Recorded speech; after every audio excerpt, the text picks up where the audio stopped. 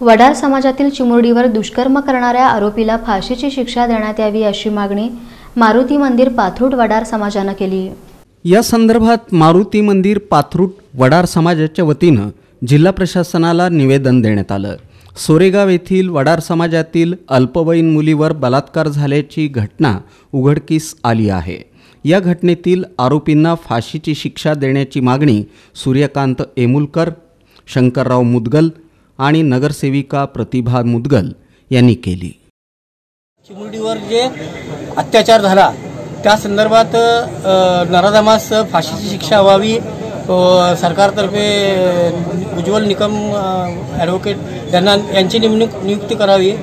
यासाठी आम्ही जिल्हाधिकारी कार्यालयात जिल्हाधिकारींना निवेदन देण्यासाठी आज समस्त समाज बांधवासह इथं उपस्थित आहे.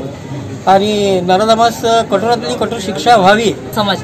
तर आम्ही आज हो, संपूर्ण समाज आमच्या ज्या बालिकावर अत्याचार तिला न्याय मिळवून देण्यासाठी आज इथे एकत्रित आलेलो आहोत. आणि तिला न्याय मिळालाच पाहिजे अशी ही आमची मागणी आहे.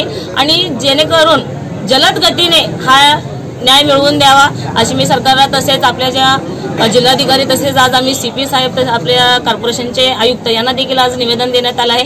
सर्वांना एकच विनंती आहे की महिलावर जो आ- वारंवार अत्याचार घडत आहे त्याला कुठेतरी वचक बसता का बसू बसावं आणि त्यामुळे सर्वांनी जलद गती निर्णय करून आम्हाला न्याय मिळवून द्यावा.